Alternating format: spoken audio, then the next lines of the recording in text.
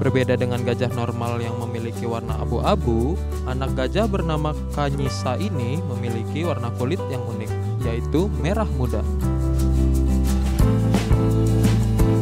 Sedihnya, pertama ia ditemukan terjerat di sebuah cagar alam dekat Taman Nasional Kruger. Jeratan itu menyebabkan luka-luka di bagian belakang telinga dan leher. Bahkan jeratnya sempat melingkari pipinya sampai memotong mulut dan menyebabkan luka panjang dari telinga hingga mulut dan membuatnya nampak terlihat seperti Joker.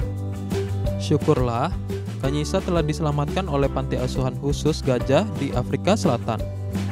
Hoedspruit Eleven Rehabilitation and Development atau dikenal HERD. Ia sekarang telah ditempatkan di tempat yang aman. Nama Kanyisa sendiri merupakan pemberian dari penemu Hort Adin Rude. Kanyisa berarti cahaya dalam sona yang termasuk dalam kelompok bahasa bantu orang-orang Zimbabwe.